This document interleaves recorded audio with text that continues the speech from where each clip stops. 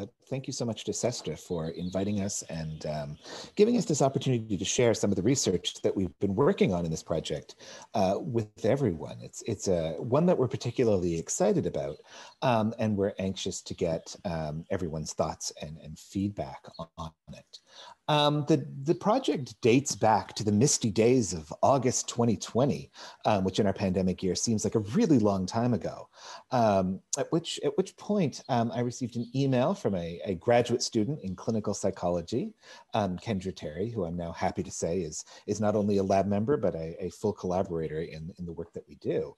Um, and Kendra wrote a very intriguing email saying that she was really interested in thinking through um, the discourse of, of clinical um, psychology or, or discourse of therapy, sorry, um, in terms of some of the strategies that we in literary studies would apply to the work interpreting um, literary texts, particularly novelistic discourse. In other words, could we think of the therapeutic encounter as something that's available to hermeneutic inquiry such as we in the humanities might understand it? And this was a fascinating question to me on two completely different levels. One, as many of you know, we at the Lit Lab are always on the lookout for interesting collaborations where we can take a lot of the strategies and, and methods that we've developed for analyzing literary text into different places and find new points of contact between the literary and the non-literary. Uh, but Kendra's interest also immediately reminded me of our own Anna Mukamal, um, who in many ways is the obverse half to what Kendra was interested in. Anna's work has centered on thinking through novelistic discourse um, from the perspective of looking for its point of contact with therapy, that is thinking through um, novelistic contexts, uh, novelistic contexts as therapeutic. Um, and so I was very excited to invite um, Anna to be part of this project. And, and we were rounded out by um, Lisa Mendelman, who is a collaborator with, with, many projects in the lab at, um, at Menlo College. And so the four of us for the past not quite 10 months have been trying to think through together um, how we can use the quantitative methodologies that we specialize in the lab combined with the close reading um, that, that all of us in our own ways are expert in, in order to begin to understand the differences and more importantly, the similarities between the discourse of therapy and what we might consider to be the literary discourse of, of novels. And so without further ado, I'm happy to pass this over to Anna, who will begin to talk about how, how we thought about and, and found this project in, in the theories that we're playing with. Thanks so, Mar so much, Mark, for that introduction. And thanks so much for having us to the CESTA seminar series. We're really pleased to be here. So as Mark started laying out, each of the collaborators on this project is curious about what is special about the therapeutic encounter. And we each bring different expertise to this organizing question. We're mobilizing methods from computational text analysis, literary studies, and clinical psychology to find points of contact between the therapeutic encounter, which we understand as a type of discourse, as Mark said, and other kinds of texts, particularly literary texts. So our central questions include whether the patient can be read as a kind of text, and if so, whether the clinical therapy session constitutes a kind of composite text. The ways in which protocols from literary studies and computational text analysis can be applied to psychotherapeutic discourse issuing from a clinical setting. How transcribed speech, in this case from therapy sessions, differs from other textual situations. How the text of real therapy sessions compares to representations of therapy in literary fiction, which we call therapeutic encounters, as well as to literary dialogue more broadly, and finally, and this is the crucial experiment on which we're going to focus in our talk today, which parts of 20th and 21st century literature look the most like therapy sessions?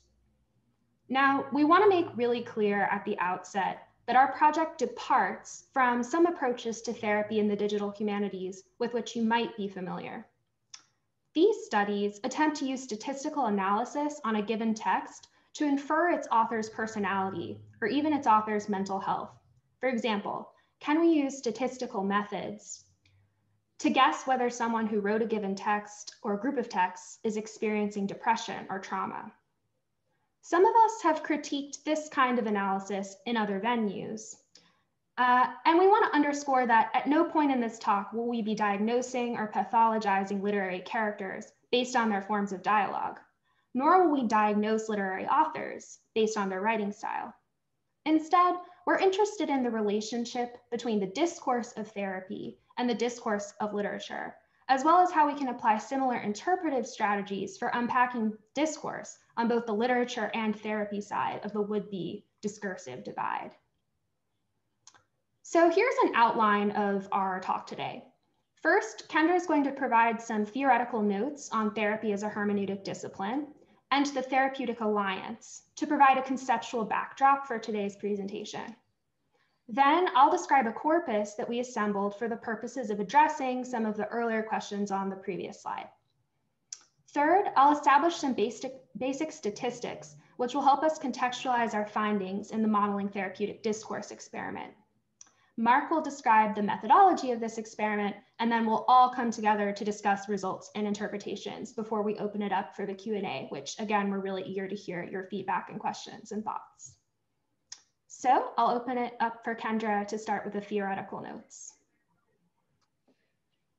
So as we keep hinting at, uh, we can think of therapy as a sort of hermeneutic discipline, uh, and in particular, one in which the therapist interprets or performs a sort of close reading of the patient's discourse. Um, so borrowing from thinkers across history, the history of hermeneutics, philosophy, and psychology from Aristotle, Schleiermacher, Dilthey, Heidegger, Freud, Gadamer, Orange, we can start to think of, we can start to form ingredient, a list of ingredients for therapy as a hermeneutic discipline. So with the patient as text, what type of reading do we perform as therapists? So one, there should be a sort of meta awareness of self that is an awareness of transference and, and countertransference, as we say in psychotherapy, or of the therapist and the patient's feelings directed towards one another. Uh, two, there should be an acknowledgement of therapy as a type of discourse with structuralist type rules. For example, the uh, inherent power dynamic, the purpose of free association, or the co construction of meaning. And third, we can think of a tolerance for messiness. So to be able to hold space to circle around what feels perhaps like meaninglessness material um, unless land uh, sorry until landing on a central issue. Um, and fourth the sensitivity to the language as the medium of psychotherapy. So paying attention not only to content but the way in which the material is expressed. Also to have a knowledge of historical context in other words, an acknowledgement of the patient's and therapist's life experiences and also the historical context in which they're situated. Six, to have an understanding of this process of reading as curative in itself. So, reading symptoms as signs, manifest content as latent content, uh, and generally undergoing a process of translation. Uh, and here we're reminded of the classical adage to make the unconscious conscious. So, taken together, this carves out a space for therapy as foremost a process of interpretation and ultimately uh, therapy as a hermeneutic discipline. So, in psychology, there's something we call the therapeutic alliance, and this will become uh, important when we start, start to talk about our corpus. Uh, the therapeutic alliance can be summarized as the real relationship between the patient and therapist. So, the part that is undistorted, authentic, composed of trust and mutual respect. So, we can think of sort of all, all high theory and ideas about how the therapist should position him or herself with respect to the patient aside. It's simply the relationship on a very human to human level. Uh, and we can think of the therapeutic alliance as a sort of prerequisite for change across all different types of therapeutic modalities, um, which reminds us of what's called the dodo bird hypothesis.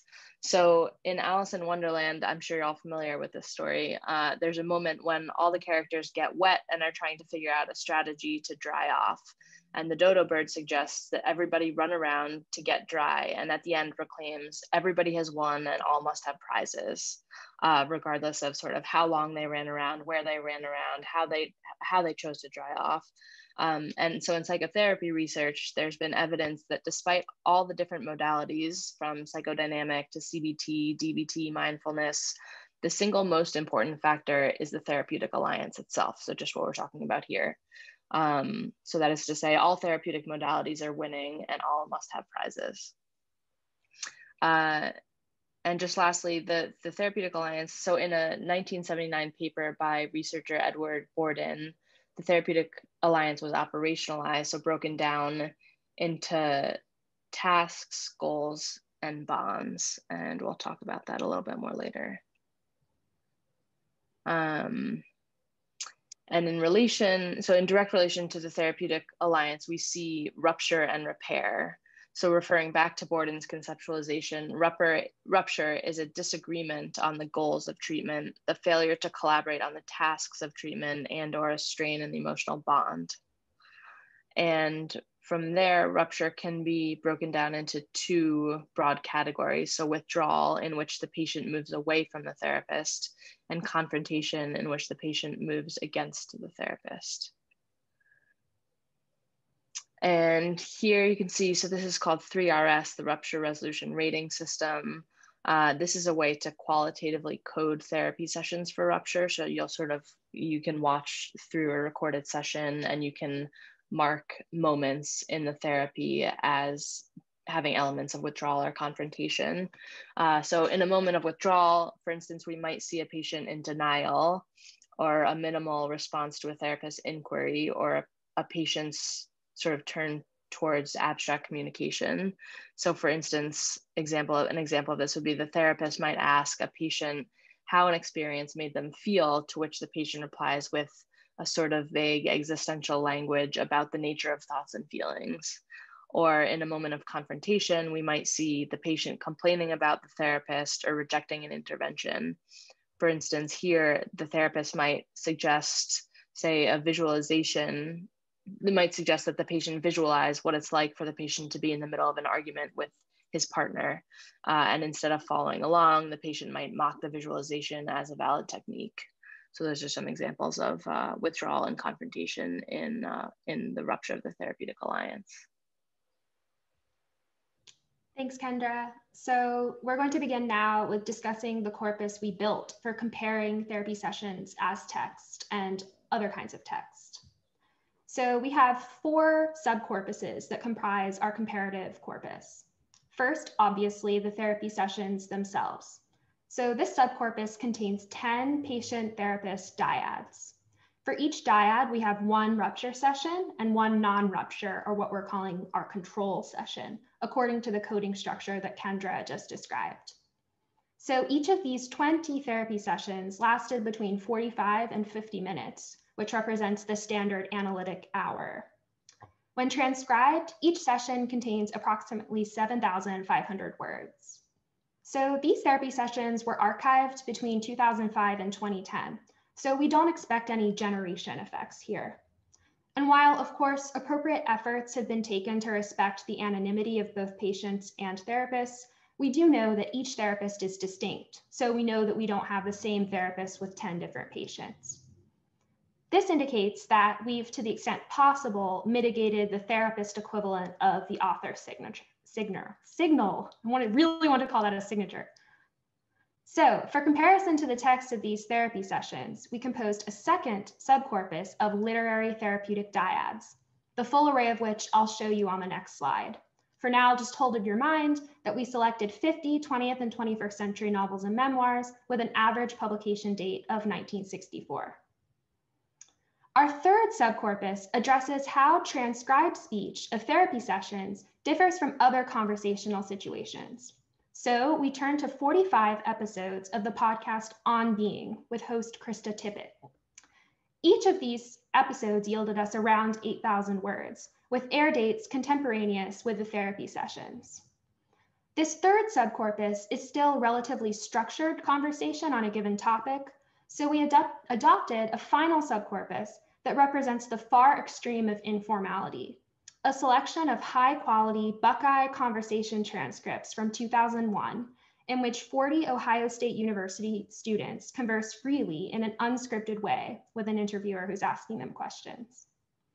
So our corpus's heterogeneous composition allows us to examine how the text of therapy sessions compares to novelistic therapeutic discourse, to novelistic dialogue in particular, to structured conversational venues like interviews, and to informal or unstructured conversation. So as promised, I'll zero in for just a moment on all 50 of the literary therapeutic dyad texts. We selected some of these texts based on their thematic investment in therapy. For example, you can see on the slide Portnoy's Complaint and Lolita. Others prominently feature doctor figures or patients, from Infinite Jest to Mrs. Dalloway. We also chose formally experimental novels such as Three Lives and The Passion, as well as novels that place narrative weight on conversation, like The Sun Also Rises, Nightwood, and Outline. These texts formally represent a kind of pressurized telling. This is a term that Gavin Jones and I have been talking about together. Or it basically refers to this need to talk and this need to be heard.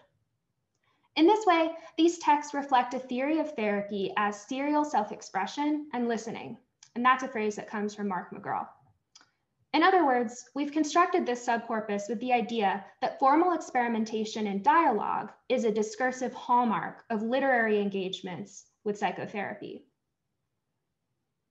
So what did we do with these four subcorpuses? One of our most generative lines of inquiry was a part of speech analysis, or POS. So this part of speech chart shows the proportion of each part of speech, as you can see listed at far right, in each subcorpus that we just described. The first column is the therapy sessions, the second, Buckeye conversation, the third, on being, and the literary therapeutic dyads are broken down further into 7,500 word excerpts in the fourth column, and only the dialogue from the therapy novels in the fifth column. The final column compares dialogue from the Chicago Corpus of American Fiction with dialogue from our bespoke literary therapeutic dyads corpus. Notice here that the therapy sessions are extreme outliers in their proportion of nouns. At just over 11%, nouns feature much less prominently than in any other subcorpus. Therapy sessions are also extreme outliers in terms of their proportion of verbs. At 23.3%, verbs feature significantly more prominently in therapy than in any other subcorpus. And to examine statistical significance, we calculated Tukey HSD for nouns, verbs, pronouns, adjectives, and adverbs, and you can see the statistical significance on the slide. Our most important takeaway here is that almost a quarter of the words of therapy sessions are verbs. And for verbs, you'll note that all of these differences are statistically significant. We think that this demonstrated focus on verbs or the process of doing and working through therapy aligns with these therapy sessions predominantly psychodynamic approach. So if our big conceptual question here is what distinguishes therapy sessions from normal conversations, the two biggest factors in terms of parts of speech are therapy's decreased reliance on nouns and increased reliance on verbs. We wanted to zoom in on the therapy session's increased reliance on verbs to ask, what kind of verbs are these? So here you'll note that verbs are all in shades of blue at the bottom of each bar. The simple past in the darkest blue is not higher proportionally in therapy than the other subcorpuses. So we can preliminarily conclude that the simple past alone does not explain therapy sessions' high reliance on verbs. But if you look closely, you'll note that there are roughly double as many present participles in therapy sessions as in all the other subcorpuses. Present participles, of course, are the form of a verb used in forming continuous tenses, ending in ing in English. For example, I'm thinking or I'm giving a presentation right now. This verb form is inherently process oriented, which accords with the idea that these therapy sessions are about working through the unfolding dyadic encounter between patient and therapist. Kendra will come full circle later to this idea of working through, But for now, we wanted to show you another experiment that we did as a form of baselining. So the cartoon is kind of just for fun. You have to let go of the baggage of your past in therapy. But we also wanted to illustrate that this is a really big cliche of psychotherapy, that it's past oriented. And uh, this even uh, applies to contemporary critiques of therapy, especially psychoanalysis. So the stock critique that patients are encouraged not only to think too much about themselves, but also to spend way too much time thinking about the past. So we wanted to see how much time patients and therapists actually spent talking about the past, the present, and the future to get an idea of what we're calling the temporal space of therapy and how it compares to that of our comparison corpora. So if one of the members of this project, it's Lisa, she's not here today, has wisely theorized the temporal dynamics of therapy as thinking about the past and the present in a future oriented way, we wanted to be able to comparatively visualize the temporal space of our subcorpora. So to do this, we made use of a tool called LIWC, or Linguistic Inquiry and Word Count, which is a tool developed by the American social psychologist James Pennebaker to uncover how the words we use in everyday language reveal our thoughts, our feelings, and our motivations. So you might be familiar with this tool, but in case you're not, LIWC is used frequently in the social sciences to examine how categories of word meaning are present in different types of texts. So basically what the LIWC makers have done is go through the dictionary and tag words that pertain to different categories. In this case, we made use of the LIWC time orientations, so past, present, and future, so we could count their occurrence across our corpus as a preliminary measure of temporal space. So on the slide are some examples of the words that make up each time orientation. And if you're curious, there are more. This is just a selection. So we wrote a code that counts the number of words that belong to the LIWC past, present, and future time orientations in each subcorpus. And here is what we found. One of the first things we found is that contrary to the stereotype and according to these time orientations, all of our subcorpora focus on the present much more than the past, and even more so than the future. It bears noting that the therapy novel excerpts are most past oriented by far, but we think this is more a reflection of the genre's disproportionate reliance on past tense narration. We can also see that therapist rhetoric is distinct in its focus on the present and the future, whereas patient rhetoric tends to resemble on being and Buckeye in the ratios of past, present, and future. Underscoring this point about future orientation, therapist discourse for rupture sessions has the highest percent of its temporal terms as future oriented, 8.25%, with control sessions in second place at 7.91%. So just quickly before we move on, something that interests us, but we can't answer this hypothesis with this particular data set, we do wonder if a given patient's present and future focused discursive temporal space would increase over the course of their time in therapy. In other words, whether they would start talking less in past oriented terms and more in present and future oriented terms as they're in therapy over time. Whether or not, and in part as a result of coming to mimic or model the therapist's present and future oriented focus. But of course, we really have a snapshot in time with these therapy sessions. We don't have diachronic um, samples. So we can't do this experiment, but we would like to if we could expand our sample. So all these results connect to something Kendra is going to talk about with conceptual underpinnings of psychotherapy as process. So thinking about the parts of speech and the temporal space findings together, the ones that Anna just talked about, uh, we can come up with a preliminary interpretation that goes back to this idea of the process of therapy.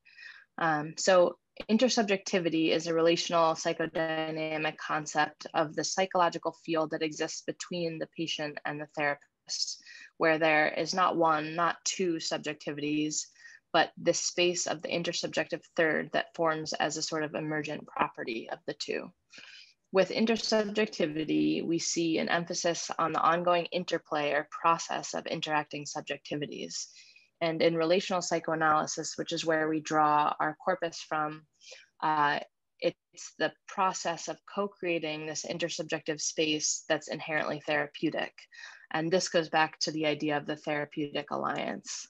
Um, thinking back to the dodo bird hypothesis of the therapeutic alliance, in the space of intersubjectivity, the experience of the relationship is therapeutic. So we see patient change happen through the ongoing development of the therapeutic alliance itself, a development of and moving through the tasks, goals, and bond. As a preliminary interpretation then of these findings, we see verbs as re representing this interplay of two subjectivities, less focused on concrete objects as represented by nouns, and more on the movement of the relationship in this way, particularly in the present moment as shown by the temporal space findings.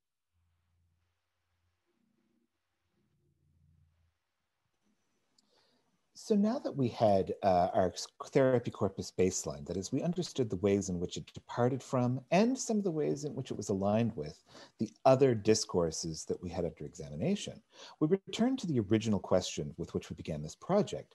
How could we understand the points of contact, or were there points of contact between the discourse of the therapy sessions we had been exploring and what we might consider to be literary discourse, specifically the discourse in novels, and not just in the list of novels that we've already looked at, which were chosen explicitly because of their um, potentially therapeutic content, but rather in novels in general. Are there places that are unlooked for, regardless of, of the subject matter or the thematics of the particular novel, where we might be able to see resemblances between what we'd identified as therapeutic discourse with all of its attendant theoretical schema that Anna and Kendra has explained. So we decided to capitalize on these differences we had found and turn to machine learning in order to create a model that might help us identify these points of contact in a, in a very material way that we could then turn and analyze. So we set up the experiment, experiment uh, like this. Um, we decided on two different feature sets. As we've already seen, part of speech does a really good job at differentiating between therapeutic discourse and other kinds of texts, particularly novels. So we decided to start off with that. We create a feature set out of all of the available parts of speech in the Penn Tree Bank and see if we could train a computational model to recognize the difference between therapy and an equally sized group of novels based on part of speech. Um, then we decided to also move on to semantics, as, as that's frequently the question we ask ourselves. If part of speech can tell the difference between therapeutic discourse and, and other kinds of talking, um, could it also be evident in uh, the semantics of the of the of the texts themselves? We also needed to estimate what we'd consider to be the minimum size of the therapeutic encounter. That is, at what scale would we be able to see these resemblances, these potential resemblances between therapeutic discourse and between our novels? Um, and we alighted on 500 words, and it's, it's a number that we're pretty confident about, but not entirely stuck on. The trick here is that if we chose too small a segment, it might be that there's not enough text to recognize the kinds of resemblances we'd hope to see. If we chose too much, that is, if we chose 1,000, 2,000, 5,000 words, it might be that uh, these kinds of encounters, which have resemblances to therapy, uh, might be too small, and we would lose them in the noise of a, of a segment that size. So we selected 500 words, and we established our two corpora. On the one hand, our therapeutic discourses, which Anna's already talked about. And on the second hand, Anna and Lisa went through through a large corpus of novels um, and identified segments of novels that were the same size as our therapeutic discourse corpus, uh, but which did not have any kind of resemblance that they could tell uh, to therapy. In other words, we wanted to give our model the best training data available in order to establish the differences between them, thinking that if we could do that and we could successfully create a model with a high degree of, of probability that was able to differentiate between these two kinds of discourses, we could turn it loose on a corpus of novels to identify places where it couldn't tell the difference. That is, those points of contact that we wanted to find. So our part of speech feature set can contained all of the parts of speech um, counted throughout the text. Our semantic feature set, we decided to go with the 75 most frequent nouns, the 50 most frequent verbs, the 15 most frequent adjectives, and adverbs. And we calculated these separately and created two different models in order to see if based on either feature set, we could train a computational model to tell the difference between therapeutic and novelistic discourse. And uh, so the part of speech feature set um, that I've just described, which is all of the uh, part of speech in the tree bank, you can see here, um, I've arranged it from top to bottom and left to right in terms of what is the most predictive of therapy, according to our model, and what is the most predictive of a novel. And you can see that some of our original hypotheses were confirmed. Most predictive of therapy are present tense verbs, as well as personal pronouns and the word two. Um, most predictive of novels are an emphasis on nouns, that is concrete nouns, both proper and non-proper, as well as, as uh, verbs in the simple past. Um, so this really confirmed our initial uh, set of hypotheses uh, that we derived from our baselining of the corpora. The model run with part of speech, as you can see, was enormously uh, successful here. Um, the left column represents the uh, non-therapeutic texts and all of the ones colored blue, which is all of them, uh, were successfully classified by our model as uh, non-therapeutic um, or as uh, novels. Um, the right side, the gold bar, uh, the mostly gold bar is our therapeutic text, that is the text from the therapy discourse. And as you can see, except for one example, all of the therapy texts were successfully classified by our model model as therapy. Um, this is a leave one out cross validation, which was 99.8% successful. These are not the type of numbers we're used to seeing posted when we're doing computational text analysis. The model had no problem distinguishing for the vast majority of cases between therapeutic and novelistic discourse. Turning to the semantic feature set, as I said, this represents those 75 top nouns, the 50 top verbs, and the 15 each uh, adjectives. And again, I've arranged it from the top left um, as most predictive of therapy to the bottom right as most predictive of novelistic discourse. And again, um, there's not a whole lot that's surprising here. Most predictive of therapy are those contractions that we get in speech, as well as a kind of epistemological discourse of knowing and thinking. This will be important.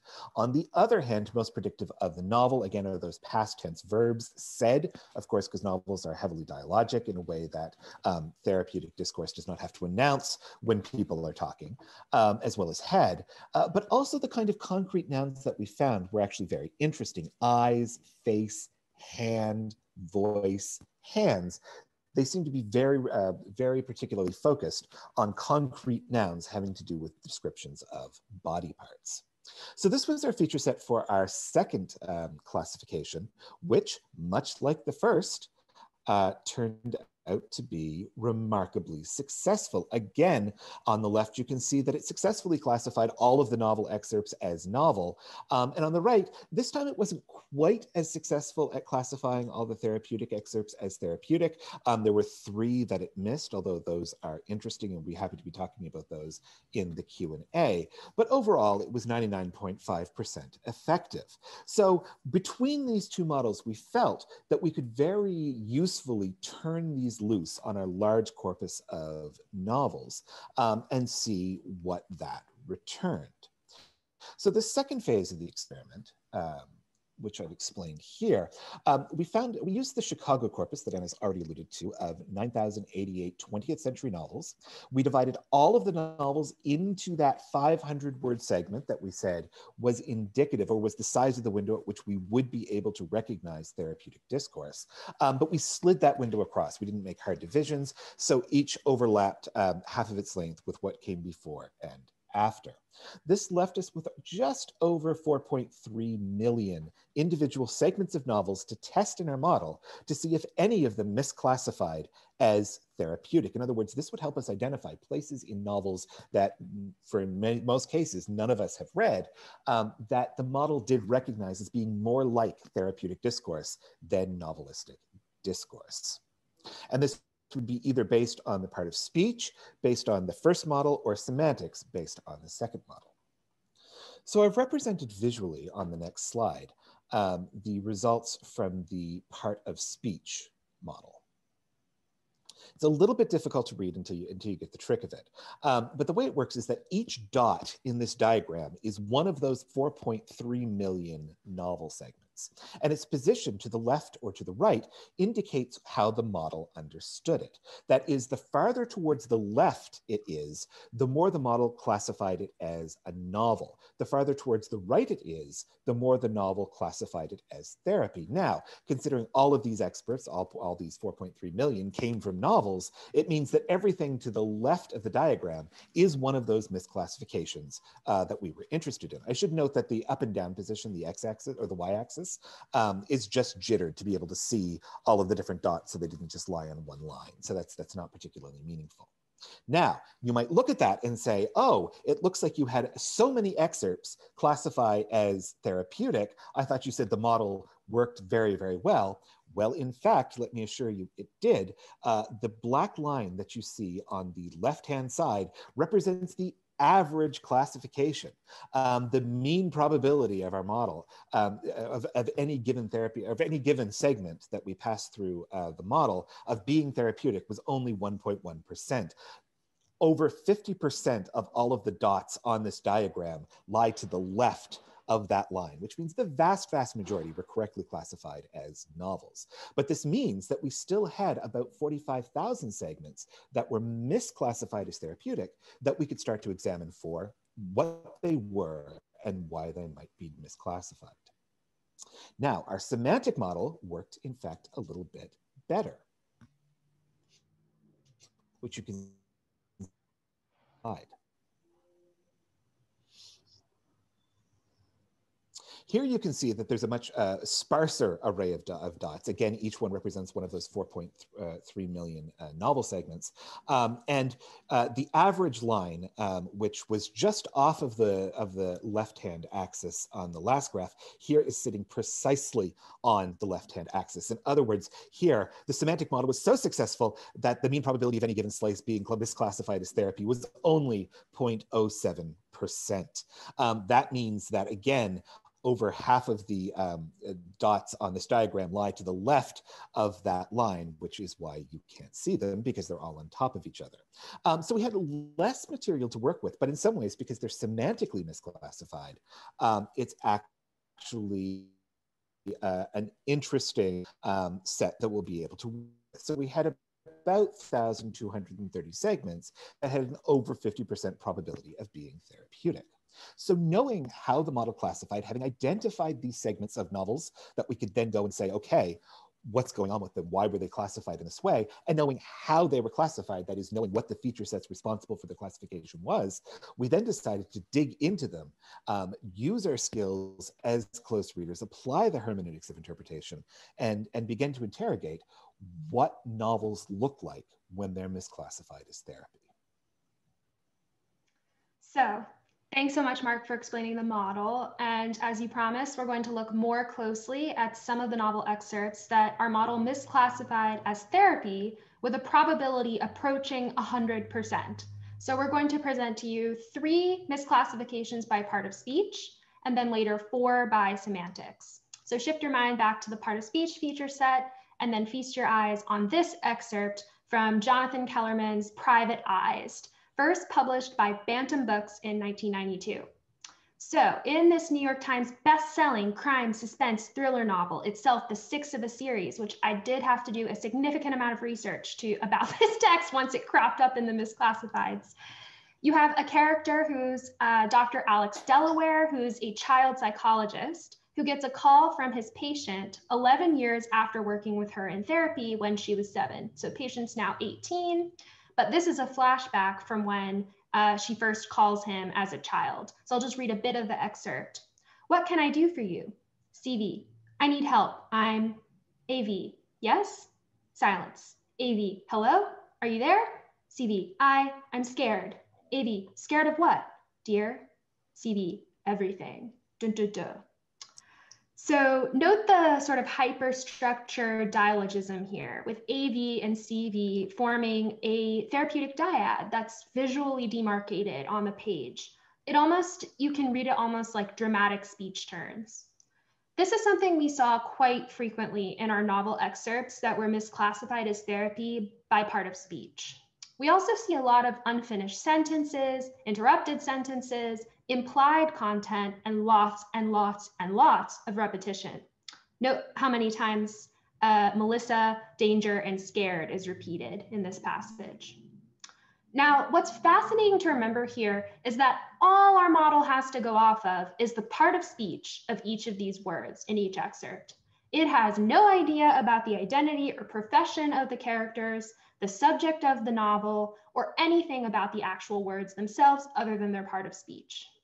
It misclassifies this excerpt as therapy, or as another way of putting it, it recognizes this is a therapeutic encounter despite its fictionality based on the parts of speech alone. It is not misclassifying the excerpt as therapy because of the semantic content of the words, but rather only their grammar. So to underscore this point, the next example that Kendra is going to close read doesn't have therapeutic content at all.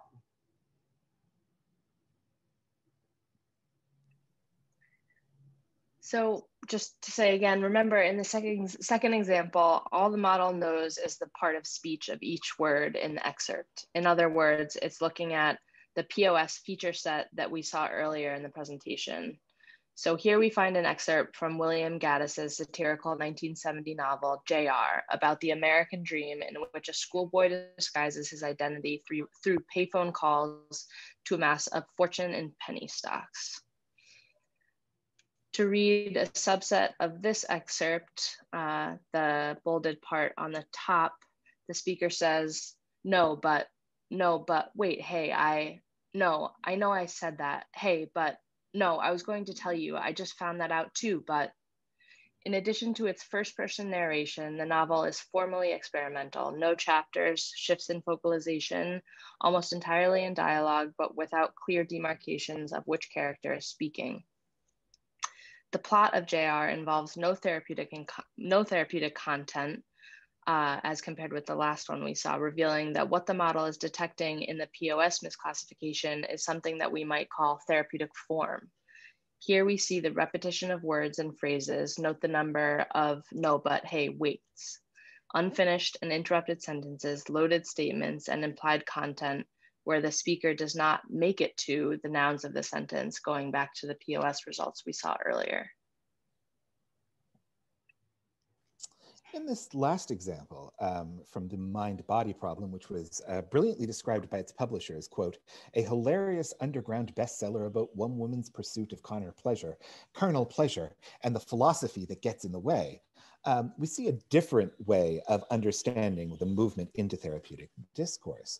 Um, if you look closely at the highlighted parts, um, what we have is a turn not towards therapeutic discourse, but into formal logic. The protagonist of the novel um, is a philosophy student. And in her various argumentations and sort of working through of her daily life, she frequently turns to the discourse of philosophy, which looks very much to our model like the discourse of therapy. Note the single past tense verb, I was suspicious, which immediately moves into a second, a, a, um, a sorry, present tense, not even second person, but um, abstract discussion. One cannot challenge A and B since they're simply assumed for the sake of argument. D looks assailable, et cetera, et cetera. This takes place not just in the dialogue, this present tense um, sort of uh, working through of process, but also in the narrative, in the confessional mode that dominates the novel. Um, this we feel like is what pushes this away from novelistic discourse and towards therapy. Note also that the two people who are in discourse here are married. So that adds another level of complication. So Noam, the person she's talking to, is a world-renowned mathematician. okay, so shifting to our semantic misclassifications. Uh, so we're shifting from part of speech or grammar to misclassifications by semantics or discourse.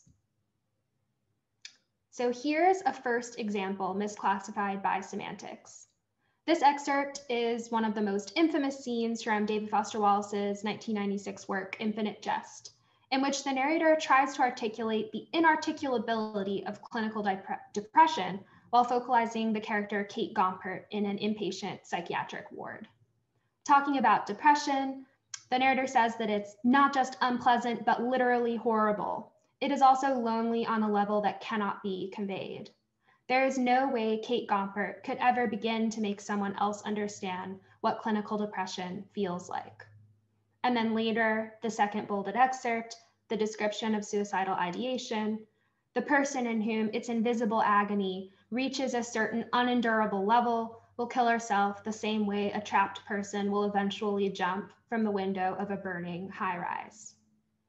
So, on the one hand, this misclassification by semantics demonstrates literal therapeutic content in the narrative, narrative itself, with phrases like clinical depression and psychotically depressed, while also discussing, particularly in the latter part I read, the subjective experience of depression.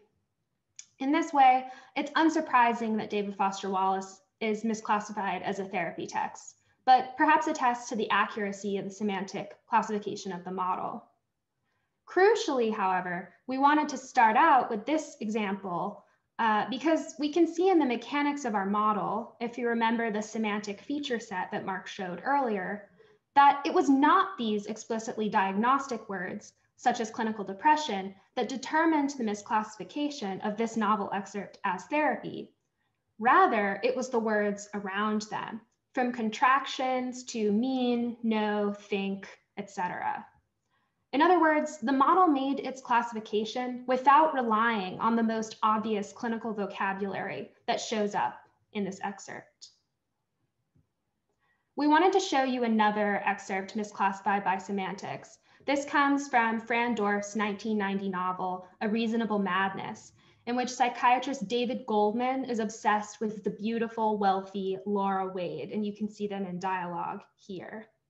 So Laura claims she can kill with her psychic powers, and she's confessed to a murder, leading Dr. Goldman to question his most basic beliefs. That's all according to Amazon.com. And as soon as I read that, I put it in my cart. So in this conversation, the therapeutic dyad discusses the kind of voices that Laura is hearing, which she describes as almost like pre-thoughts, the thoughts people screen out before they speak. Another highlight of this session is Laura talking back and telling Dr. Goldman not to look for paranoia in her speech.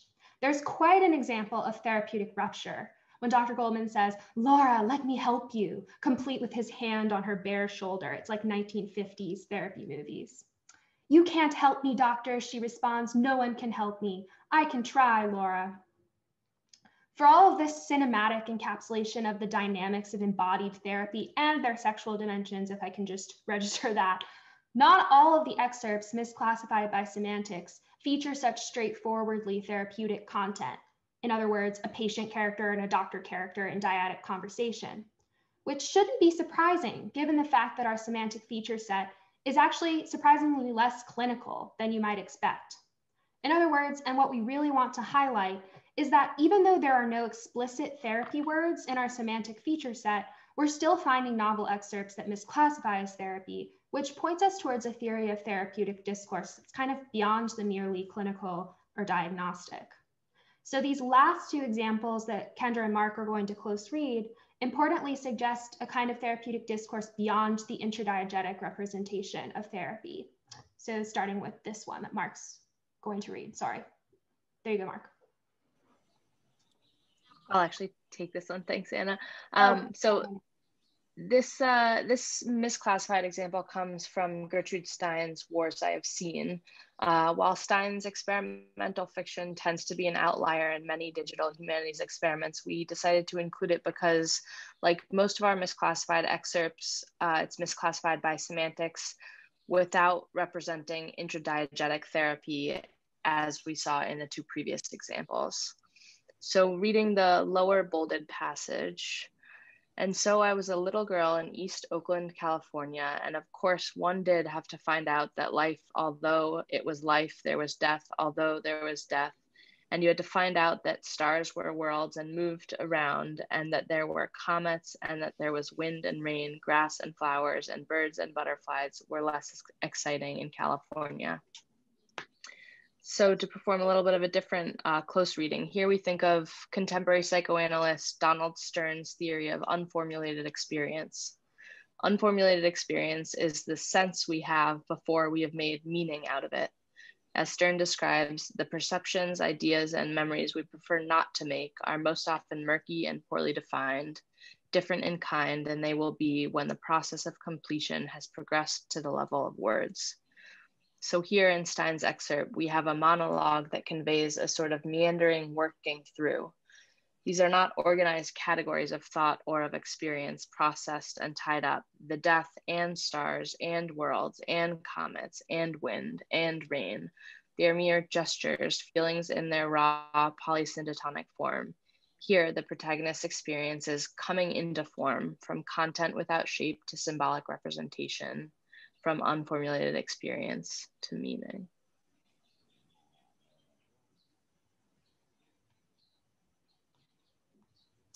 So in this last example, um, which comes from Henry Miller's Rosy Crucifixions trilogy, um, Miller describes a turbulent period of his life in this largely autobiographical work.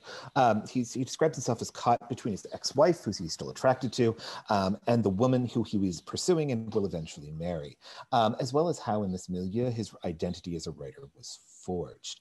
Um, in this particular scene, which again was misclassified as therapeutic, Miller's avatar within the book, named Henry, um, is describing an encounter with both women to a friend, Rebecca, who also serves as a kind of avatar for Henry Miller in the novel. Um, and in this scene, uh, Rebecca is urging him to write down his observations, not only on both uh, women, but on life itself, to turn his thoughts into the material of the novels that he will eventually write. Now, in this passage, Miller is working through his conflicting feelings for both women in relation to his fundamental belief in differentiation and hierarchy, presented in diegesis as a working through of his philosophy and fantasy, Miller's avatar, avatar, resorts to abstract analogies, not focusing on the confessional mode that much of the novel is written in, but offloading his process onto an imagined interlocutor, a you that is partly Rebecca and partly the reader who is interpolated into the monologue. This creates a dialogue even more intimate than that represented as, as being between Miller and Rebecca. This in the moment process of present tense, contractions, um, all of which are attached to this you, and his focus on the epistemological acts of knowing and meaning, bring, we argue, this passage into the discourse of therapy as far as our semantic model understands it. So to return to our opening questions, first about interpreting the therapy session as a kind of text, and second about comparing the text of real therapy sessions to literary fiction, we reach a pair of observations. Specifically, we see that for the part of speech classifications, our model tends to misclassify heavily dialogic, structured speech, most often in the present tense and or highly repetitive text in novels as therapy text, suggesting the building blocks of a therapeutic form. That is to say, in therapy, it's not just that we tend to talk about. As far as the semantic classification is concerned, our model tends to misclassify novel excerpts as therapy sessions when they feature intradiegetic therapy or therapeutic content intimate interpersonal conversation or argumentation and or a quality of working through as we've been talking about here. So the material we've shown here represents just one part of a much longer and larger project on the interplay of therapeutic and literary discourse, one which is ongoing. And we now invite any and all questions and comments in the Q&A. So thank you so much.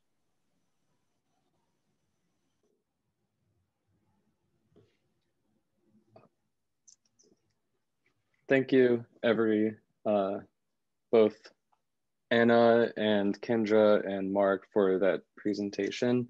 Uh, first, I want to um, invite all participants to use the raise your hand feature. So that way I, um, I can call on you and you can uh, ask the presenters yourself uh, any questions that you may have. And our first question goes to Elaine. Thanks, Will. Um, that was great, really absolutely fascinating. Um, sort of slightly troubling in some respects in relation to the to the to the kind of functionality of fiction, right? But anyway, that's that's a sort of aside. I've got one methodological question, and I've got one uh, sort of sort of broader question. I think I'm really interested in that LIWC thing. What that LIWC, whatever it is, yeah, yeah. Can you parse out the non-finite verbs for me? Because you talk about, you talk, it tent seems so very important, but some of the examples that you gave were non-finite parts of verbs, right? So said and was. You, the example Mark you talked about was I was suspicious, but what if what if the collocation was I was going to I was going to go, right? So how much what what role does collocation play in the way that you define tense? Because non-finite parts of tense, the auxiliaries, modality, etc., isn't going to give you the past, present, future in the context of the of the discourse. Okay, so that, that's just a methodological question. My second question then is sociolinguistic, which is really interesting. And I'm sure that you, you know, I know you, you already be onto this. But in those examples that you gave, and particularly the one that Anna was reading, um, where there was interruption and repetition and hesitation as characteristics of therapeutic discourse, those are also characteristics sociolinguistically of women's speech uh, previously regarded as powerless and now kind of redefined in terms of collaborative and and so on. So what role does does gender play then in the therapeutic discourse as you see it emerging, particularly, I suppose, less from the actual therapy and much more from the kind of novelistic and possibly stereotypical, um, stereotypical kind of uh, replication of imagined women's speech?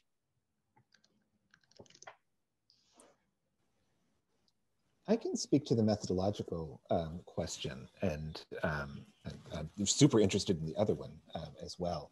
Um, but I think the thing to remember is that we measured temporality in three different ways within this project. That is, one, the part of speech features.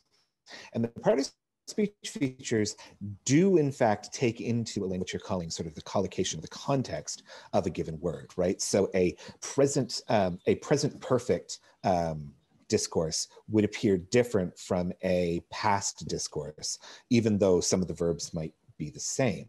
At the same time, um, we also measured it simply in the lexemes, that is in the semantics. So, um, so there are like the word said, for example, which showed up as incredibly significant for our model in terms of deciding novels. That is the word said, whether or not it is part of just a simple past or a more complex um, grammatical construction.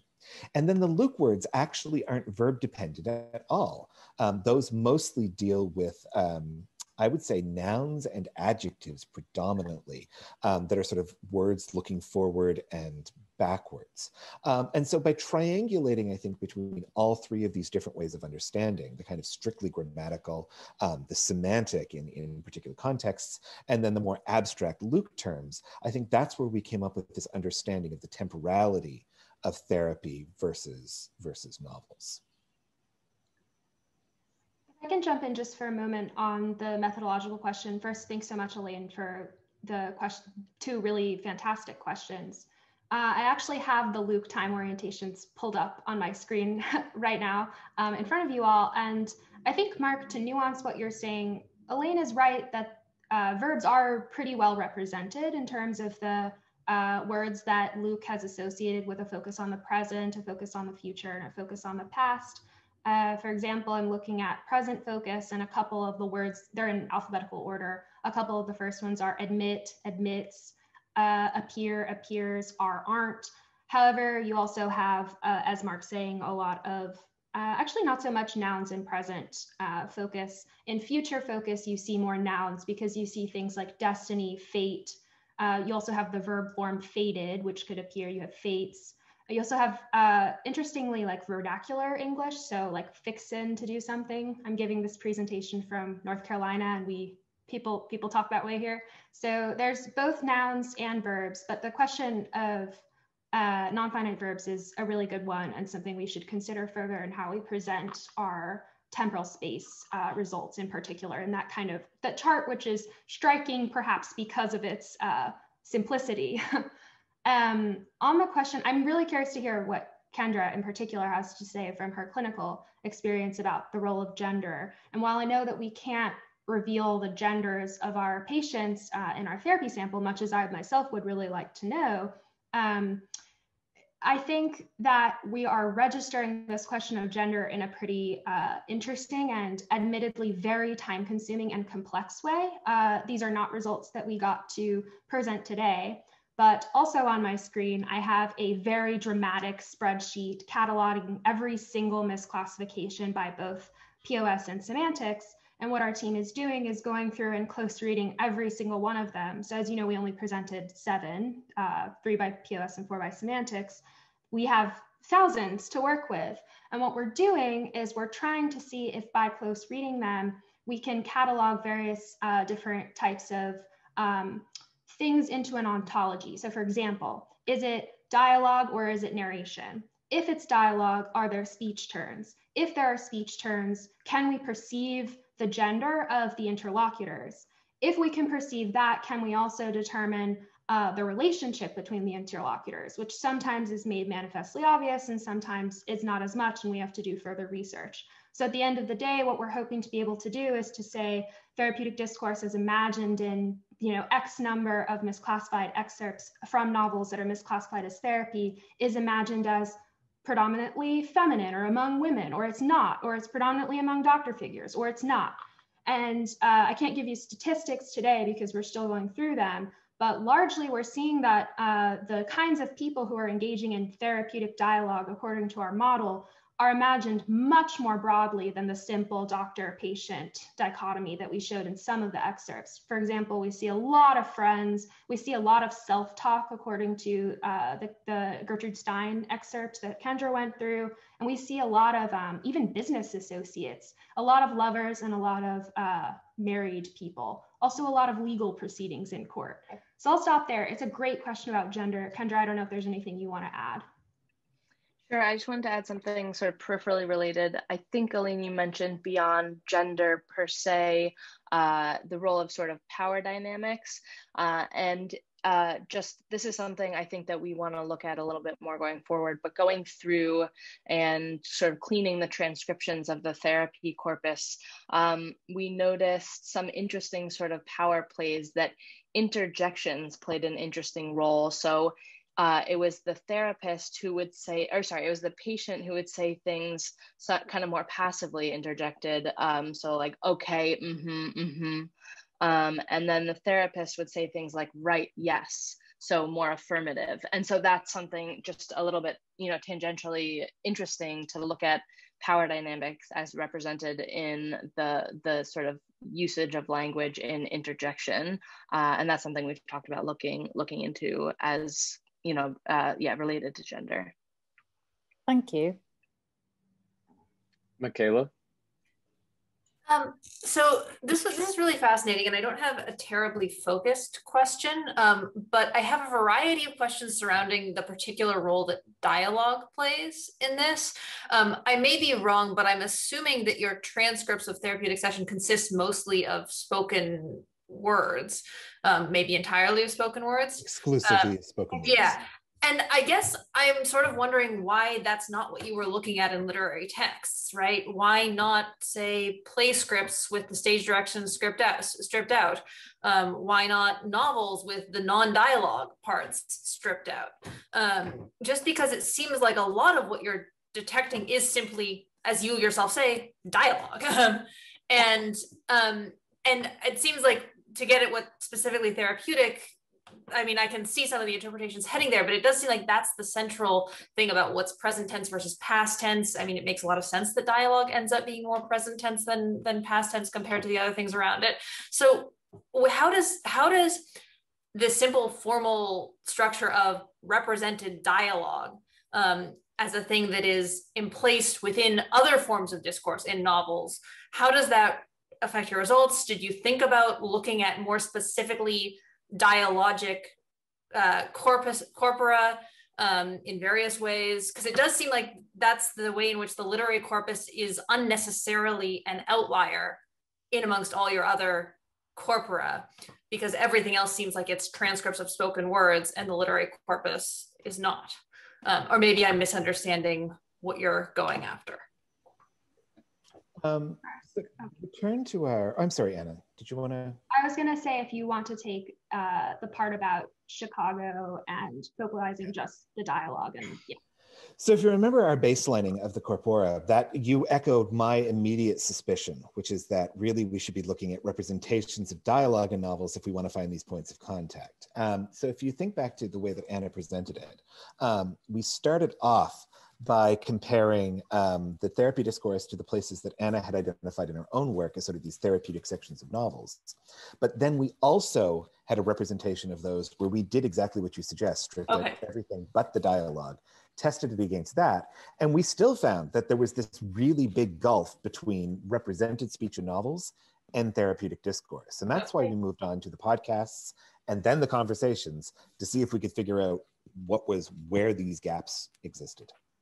And and did that come out the same with um, the other formats you were looking at, like memoirs, or or as I, I, I really am curious about like something like a, like dramatic play scripts as a format. Yeah.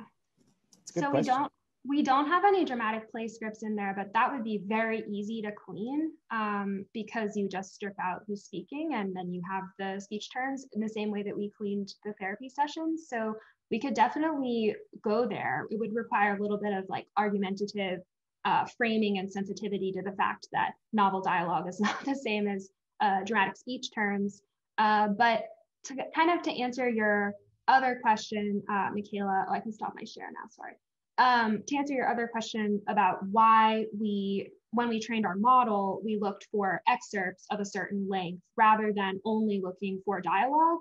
Uh, so in the modeling therapeutic discourse experiment, the reason we looked at both narration and dialogue is because we were actually kind of curious about the narration parts too. So we kind of knew or expected or hypothesized that we were going to get mostly dialogue. And indeed, in the spreadsheet to which I was referring, the very long, complicated spreadsheet uh, all on my screen right now, the vast majority are dialogue. And we'll be able to say, you know, 95% are dialogue or are dialogic rather. Um, but we were kind of interested in those outliers in which predominantly narration uh, is getting picked up either by POS or by semantics as therapeutic. And we wanted to kind of figure out what that meant about uh, about therapy, about novelistic discourse, and about the points of convergence. So that that's that's hence why we wanted to try to capture both. Does that kind of answer the question? Yeah, you know, thank you. I, I, I clearly just missed that detail on that on that chart, but um, but I, I it, it does seem like I kind of I, I, st- I still want at the end when you're doing the interpretation a kind of um, sorting out of the examples where what you're capturing is dialogue, but you also say that you're capturing something about process from the past like because it does it does seem like i'm not quite sure how how how easy that is that is to sort to sort out the, the, the these different dimensions. Um, but anyway thank you yeah yeah of course. I feel like kendra probably has smarter things to say than i do about the experience of being in a psychotherapy session and the connection between dialogue and process. I don't know if you want to say anything now kendra but.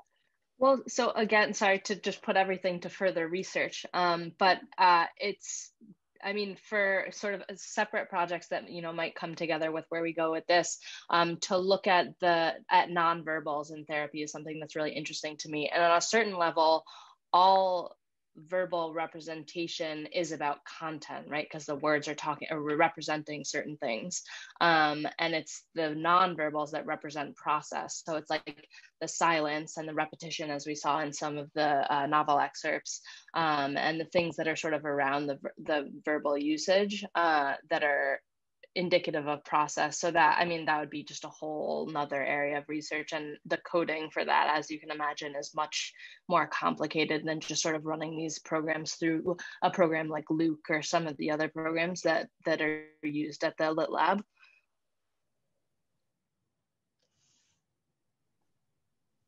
Peggy?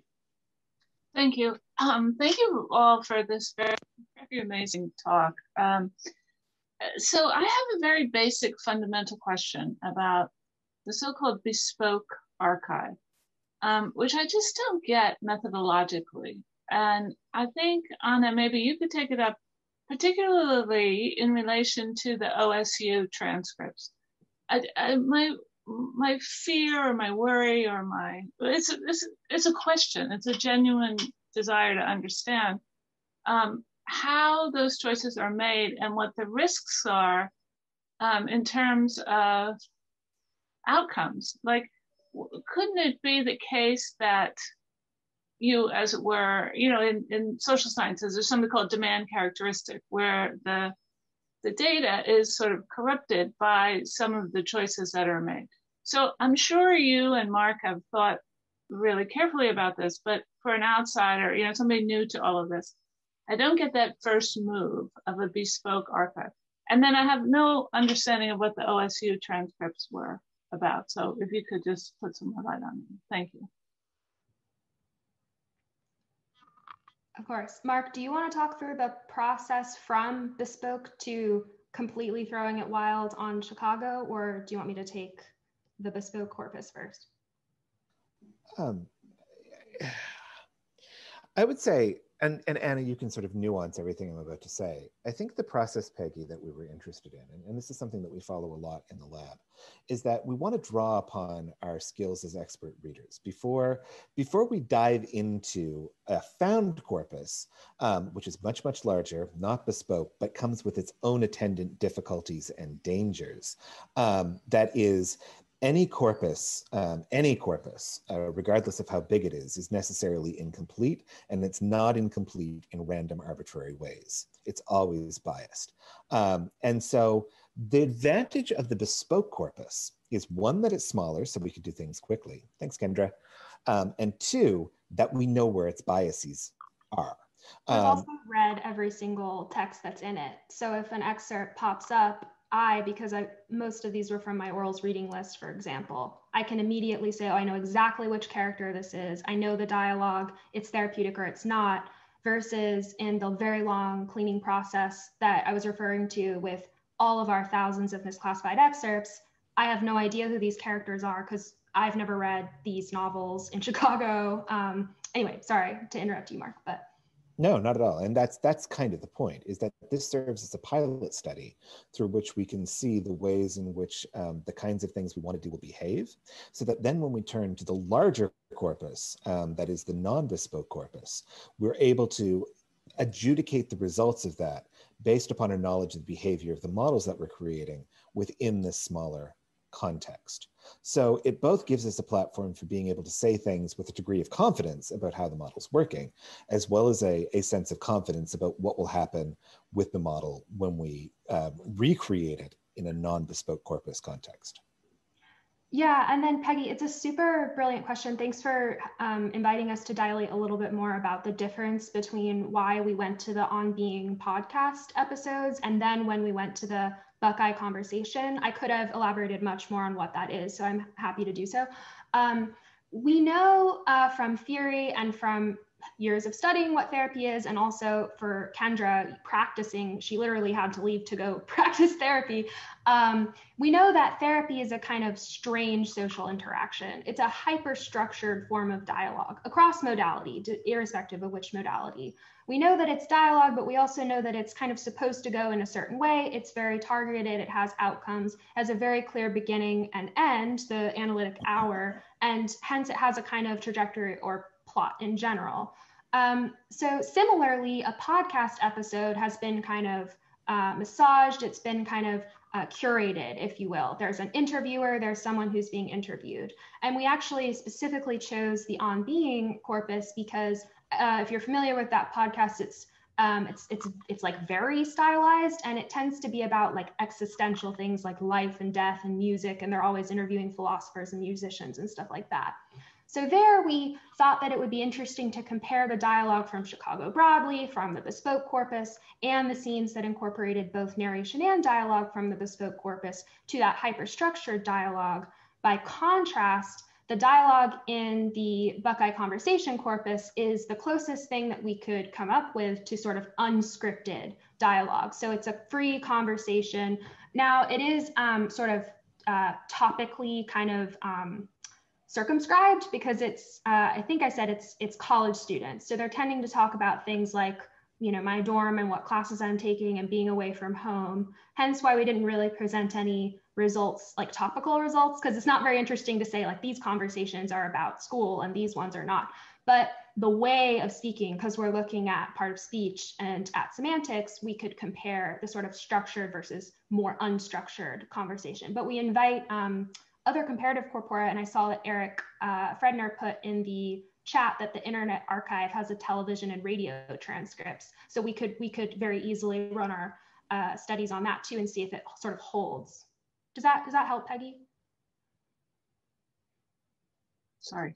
Uh, yes, it, it does. I mean, honestly, I, I still find it uh, problematic, but I, I get what you're saying. And um, I imagine the problems with me. I, I just, I don't know. It just makes me, I, don't know. I think this is much larger than your project. It's about digital humanities. It's a, you know, it's a larger qu question, but thank you for your generous answer. I did have one uh, question. Um, and I was just wondering, because you say this is, uh, Mark, you referenced or referred to this as a pilot program uh, or pilot project. I was wondering if you have thought, if either of you have thought about expanding it to maybe other corpora that unfortunately would be bespoke and uh, and it could be like queer lit or Native American and indigenous literatures because um, you I can imagine it's a bit maybe a bit reductive, but uh, kind of historical and contemporary trauma being uh, teased out through by authors in these texts. And so I'm wondering if you've thought about um, expanding through uh, in, in kind of those directions uh, into that kind of tailored corpora. I think that's a really interesting idea and I think it's something that we'd want to think about. I also think it's something that we want to be really, really careful about. Um, as Anna highlighted, there's a real danger here in terms of other other approaches to this, which have really focused on a certain kind of pathologizing.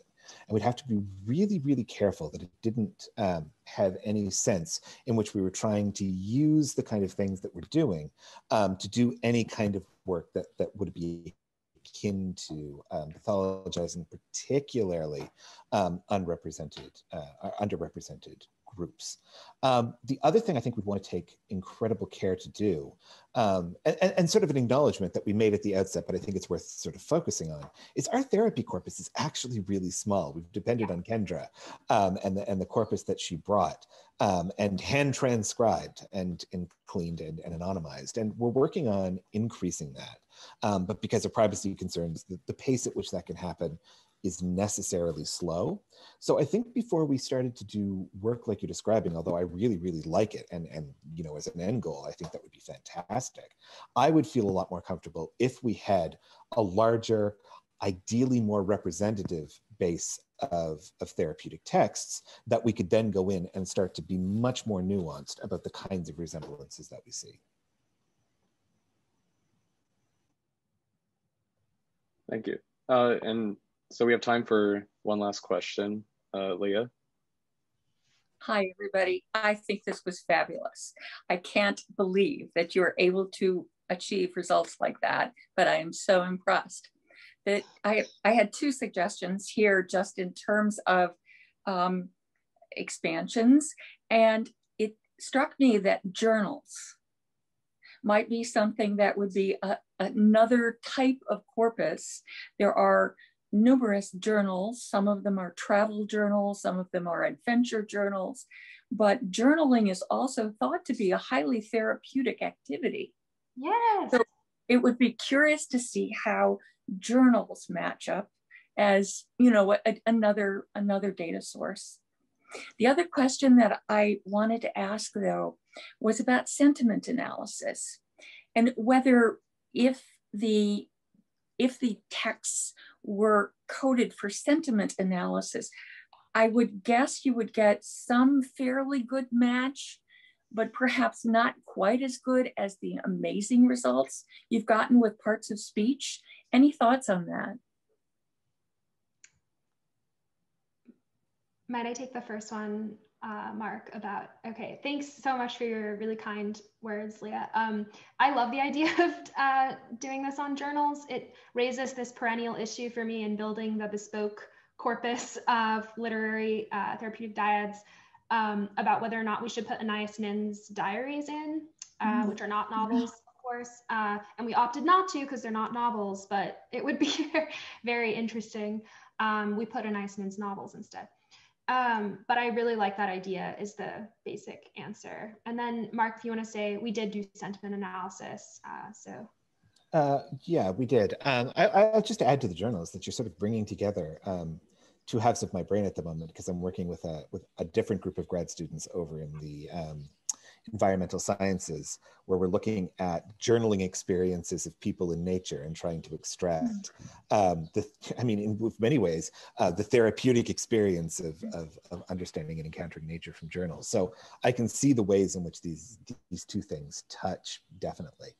Um, we did do sentiment analysis. I'm going to be frank. I, I mistrust sentiment analysis deeply, um, mm-hmm. especially in its current state of the art, and particularly for these kinds of these kinds of uses for which sentiment analysis was not um, necessarily um, designed for. So, so long story short, um, the results that we got were inconclusive, and I think they'd remain so, and I wouldn't want to say anything about them until we had done the work to train a new sentiment analysis model that um, takes account of the kind of data that we have in our corpus. Um, so until that point, I'm, I'm, I'm deeply wary of it, but I love well, the idea of journals.